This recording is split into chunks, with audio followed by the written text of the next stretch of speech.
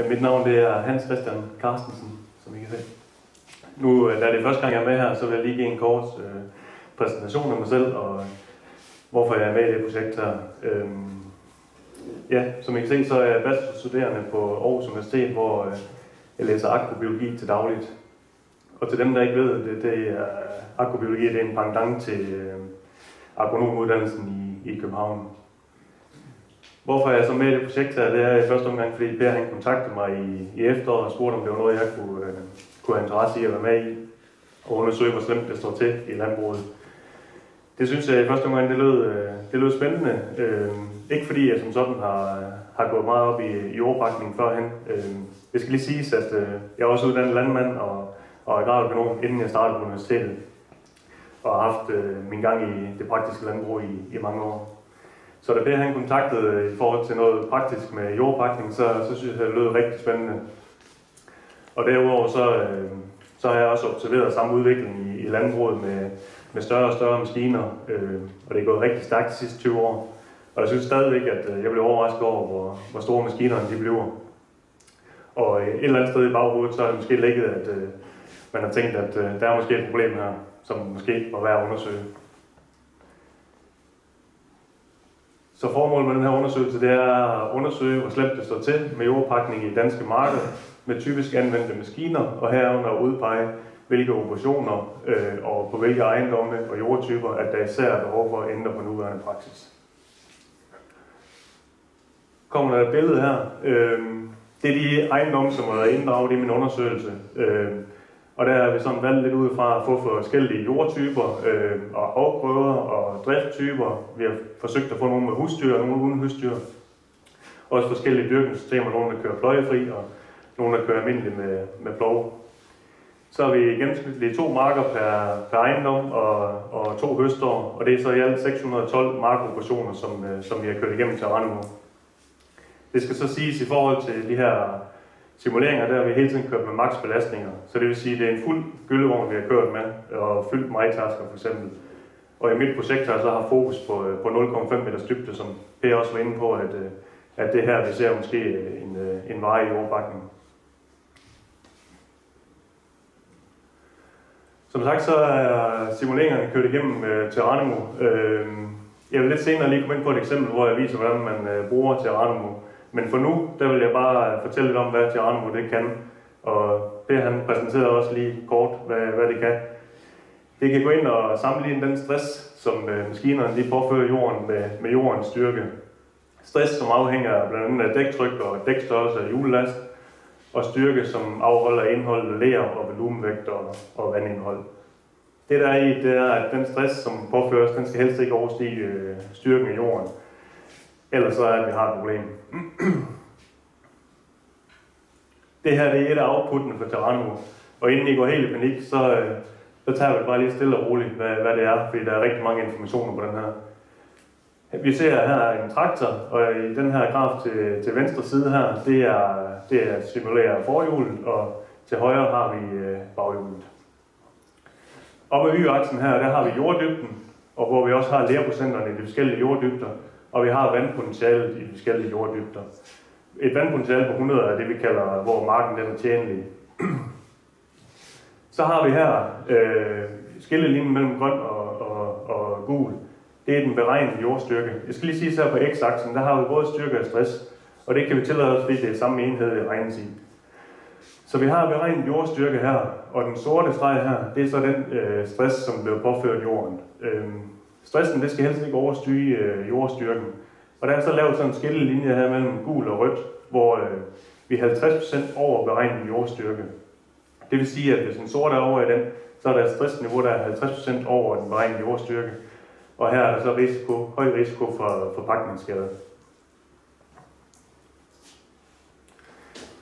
Et andet og med lidt mere lidt læselig output fra Geronimo, det er det, der hedder Soil Compaction Index, øh, eller jordpakningsindex på dansk, og det forkortes så SCI. Det beregnes øh, logaritmen til forholdet mellem stress og, og jordstyrke. Øh, og som I kan se her, så har vi igen akslerne her, og så har vi så jorddybden herhen. Øh, og det, øh, det kendetegn ved det her SCI lige med 0, så er der ingen pakningsrisiko med den grønne farve, og SI øh, mellem 0 og 0,2, så er der moderat pakningsrisiko, og SI større end 0,2, så er der så høj pakningsrisiko. Vi skal helst ligge i det grønne område, øh, og som vi kan se her, så er der høj pakningsrisiko i det øvre jordlag ved den her traktor. Og igen, så fokus det er her på 0,5 meters dybde. Øh, og vi kan se her, at der er ingen pakningsrisiko i det her eksempel. Så lidt til resultaterne jeg kom frem til. Jeg har fokus på det her Soil Practice Index i 0,5 meters dybde. På de her 11 ejendomme, som er blevet til i alt 45 marker og 14 forskellige afgrøder og 25 forskellige maskiner, hvilket er 612 forskellige øh, maskinkørsler, vi har kørt igennem til Ranimo.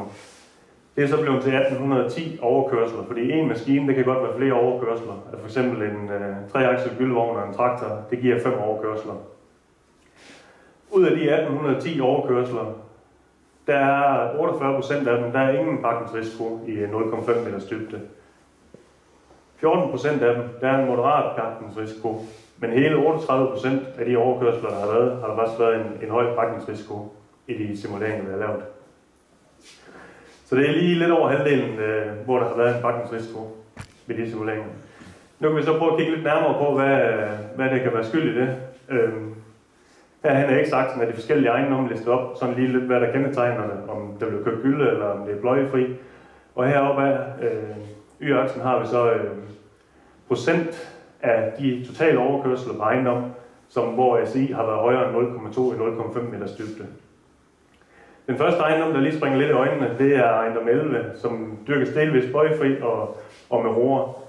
Ejendom 11 den er sat i parentes, fordi øh, der køres med bælter på den her ejendom, og, og det kan vi ikke simulere i Geronimo desværre. Så der er lidt usikkerhed om de tal her, men de er jo selvfølgelig blevet genberegnet, når Geronimo kan. Og Mathieu han vil komme lidt mere ind på i forhold til bælter.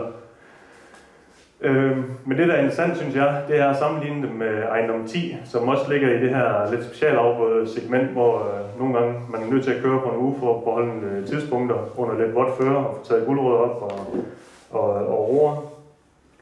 Men den store forskel på de her to ejendomme, som jeg ser det, så er det, at øh, de dyrkes på en øh, stiv lærjord, og, øh, og de her grøntsager de dyrkes på en JB 2-3 stykker. Øhm, og vi ved, at øh, at sandjord der er højere jordstyrke under våde forhold end, end lærjord. Så det kan måske skyldes noget af den forskel der. To andre ejendomme, jeg synes, det er interessant at sammenligne, det er ejendom 3 og ejendom 4, som egentlig er to meget sammenlignelige ejendomme. Øh, begge to øh, risegårde med gylde.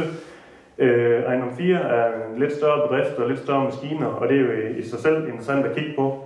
Men, øh, men øh, hvad hedder det, men den helt store forskel er også, at øh, her har vi en sværere øh, lærjord ved, ved ejendom 4, end vi ser ved ejendom 3. Og den sidste ejendom, som jeg synes, der er interessant at kigge på, det er ejendom 6, som, øh, som falder lidt uden for billedet. Og det er det, fordi at, øh, det er et skolelandbrug på en landbrugsskole, hvor øh, de udelukkende kører med, med små maskiner, øh, halvanden til 1.500 hestes traktor.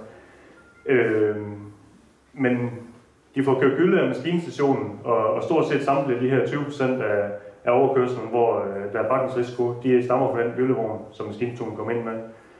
Jeg ved godt, det ikke er realistisk i det moderne landbrug i dag, øh, men, øh, men jeg synes bare, det er interessant at sammenligne med, hvordan det måske var for, for 20 år siden mange steder. Så har jeg taget den her med, øh, hvor vi igen har øh, SI, men det er så bare per maskine, øh, øh, hvad for en maskine, der laver flest øh, overkørsel med høj bakningsrisiko. Og der har vi så igen i forhold til det totale. Der kan man så umiddelbart tro, at, øh, at øh, den her optager, det vil være den værste. Den ligger også relativt højt, at der er mange af de overkørsler, hvor, øh, hvor den er over 0,2 af for høj bakningsrisiko. Men det helt store sønder, det er måske ikke så overraskende øh, gyldevognen, og så, øh, så er det mig tærskeren. Øhm, ja, og det, en anden ting, det er så at kigge på, på såmaskinen, som typisk er en overkørsel, hvor man kører med, med tyndhjul, øh, og, og der ser vi ikke særlig stor pakningsrisiko ved, ved de kørsler. Øh, den sidste, jeg har taget med i de her grafer, det er max vertikal stress, hvor vi igen har maskinerne herhen, og så har vi stressniveauerne op ad y-aksen. Øh, det, jeg synes, der er interessant ved, ved den her graf, det er, at man er fuldstændig renset det for, øh, for jordstyrke. Altså, så der er ikke nogen indflydelse fra, fra, fra jordstyrken, i, som vi har i Soil Compaction Index. Så det her det er udelukkende den stress, som, øh, som maskinerne de påfører på jorden. Og der ser vi igen, at øh, majtasken den ligger meget højt i, i stressniveau. Og som Per her var inde på, så, så er det sådan set ikke noget problem, at den ligger deroppe, hvis bare øh, jord, øh, jordstyrken den er efter det.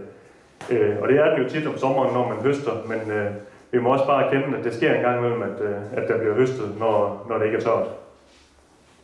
Og så gyldevognen, ikke så overraskende, ligger også øh, relativt højt. Øh, det jeg har gjort, det er, så har jeg prøvet at kigge lidt nærmere på, øh, på den her gyldevogn, øh, for at se, hvad, hvad det er, der måske kan spille ind, og hvad man kan ændre på for at lave det bedre. Det her det er første arbejdsmenu i øh, Terranimo, øh, hvor man simpelthen kan gå ind og vælge sin maskine øh, heroppe, og når man har gjort det, så kan man gå ind og justere på, øh, på hjullast og dæktype og dæktryk, efter hvordan man øh, har kørt på det tidspunkt der. Når man har gjort det, så kan man så gå ind og beskrive den mark, man har kørt på, og det gør man herinde, hvor man har mulighed for at vælge JB-nummer, eller man kan vælge tekstur fra jorddatabasen. Så popper der sådan øh, Google Maps kort op her, og så har jeg så plottet for, for Forlum jord her. Øhm, når man har gjort det, så kan man gå ind og vælge, hvor vådt det har været på et givet tidspunkt. Man har så mulighed for at vælge mellem nogle vandstatuser, enten øh, fugtigt, tørt eller, eller våd. Eller man kan gå ind og bruge det, der hedder DAISY øh, vandpotentiale, som kan, kan lave et estimat for, for vandpotentialet ud fra arkiv og lokation og afgået og dato. Jeg har lavet en øh, simulering her for en vinteropsmark den 18. i 4., fordi det var en dag, jeg kørte herud til Forlum og øh, kunne se, at de lå og kørte, øh, kørte gylde på en opsmark. Og det så meget godt ud. Og øh, hvis man kigger på øh, de her vandpotentialer her, så ligger de jo imellem 40 til 50 øh, hektopascal, og det er det, der svarer til en våd mark. Så Daisy har ret i forhold til, hvordan det var. Så kan vi så gå over og finde det her stress- og styrke øh, diagram igen, som vi så i starten. Lidt uoverskueligt. Øh, og her har vi så øh, traktoren med gyldevognen øh, med de forskellige øh, øh, grafer. Og øh, man kan især have fokus på, øh, på 0,5 øh, meters dybde, der, der vi helst ikke skulle ligge i det røde felt herunder. Og det kan vi se, det gør vi stort set på, på samtlige øh, øh aksler på den her forakslen.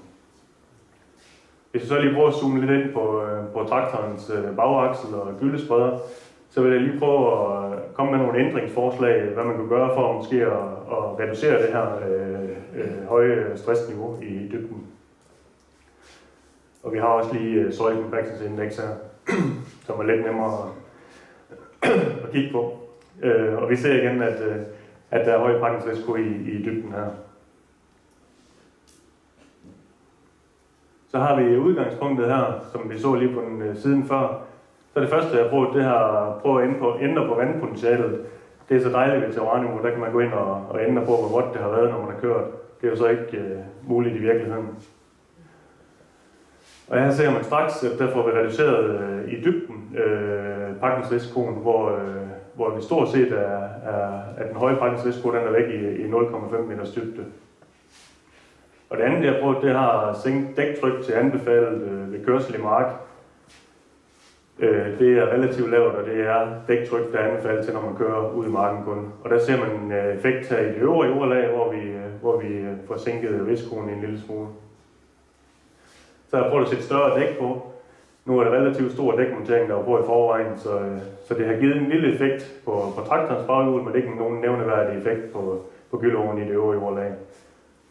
Det sidste, jeg har prøvet, det har så taget 1000 kg julelast af per, per, per aksel eller per hjul. Og det giver en relativt stor effekt i, i dybden også, øh, hvor man får reduceret brændsrisikoen i hvert fald under 0,6 meters, øh, meters dybde. Til sidst har jeg så lavet en kombination af af de her fire løsningsmuligheder, øh, som vil være ideelle, ideelle løsning, hvor man kan se, at så får man reduceret øh, risikoen væsentligt i 0,5 meters dybde, eller sådan set hele vejen ned sker der en reducering i, øh, i risikoen. Øh, da man ikke rigtig kan justere på vandpotentiale, så, synes, så har jeg tænkt, at det er interessant at prøve at kigge på, hvordan man så kan forsinke den her julelast på, på de her gyldevogne. Og det, der har jeg været inde og prøve at kigge på øh, sådan en, øh, en gyldevogn med en glasfibertank. Øh, øh, der, sådan en 27 kubikmeters øh, gyldevogn, den har en egen vægt på ca. 8300 kg. Og hvad jeg kunne finde frem til, så er det cirka 4 tons lettere end en traditionel gyldevogn. Øh, og det svarer jo sådan set til det eksempel, jeg lige lavede før, hvor jeg tog, øh, tog 1000 kg julelast af. Så, så det er jo øh, måske en interessant løsning. Det andet, jeg kigger på, det er så sådan en gyldeudlægger, som øh, der både er for og imod. Øh, men jeg prøver at køre den igennem til Arnemo, øh, hvor øh, man på den forreste aksel øh, har en øh, hjullast på 5470 kg. Øh, og det er vel at mærke, når øh, maskinen den er fyldt med gylde.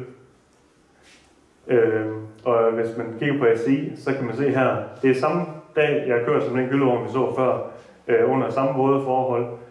Og der kan man faktisk øh, reducere risikoen øh, helt ned til 0,3 meters, øh, meters dybde, hvor, hvor der så ikke er nogen pakningsrisiko med den her gyldeudlægger. Øh, og, og samtidig er det værd at bemærke, at, øh, at det kun er én aksel, hvor der er en høj risiko. Fordi for eksempel, hvis du kommer med en gyldevogn, så er det i hvert fald fire aksler, der kommer med høj pakningsrisiko. Og det vil Per fortælle lidt mere om lige om lidt, øh, hvad det har af betydning. Ja, og igen 0,5 meters dybde, den, den har vi så fået fjernet, den risiko i, i 0,5 meters dybde. Så sidste afslutning her, det er, øh, hvis man kigger lidt pakningsrisikoen i det så reducerer øh, øh, dæktryk og, og større dæk. Og i, i dybden, så er det, øh, du må simpelthen vente til at køre til det tør, eller reducere hjullasten. Fordi på en eller anden måde vil vi nok nødt til at have flyttet nogle af de her 38% over i, i det grønne område, men øh, lige hvordan man skal gøre det, det, det er nok noget af det, vi skal se nogle løsninger på her i eftermiddag. Så det sidste, jeg lige har taget med, det er bare lige kort omkring cost benefit, fordi sådan en øh, gyldeudlægger, det jeg kom frem til, det er, at det er sådan set næsten dobbelt så dyrt at få lagt gyld ud med, med den. Og det er jo en direkte omkostning på, på landmanden i de her tider, hvor øh, økonomien den er trængt. Og jeg tror ikke, der er så mange, der er sidder i at skulle ud og give det dobbelt for, øh, for at få udbragt sin gylde. Så på en eller anden måde skal der nok findes en øh, prisløsning eller, eller, eller en anden løsning på, hvordan man, man kommer i mål med det her. Tak.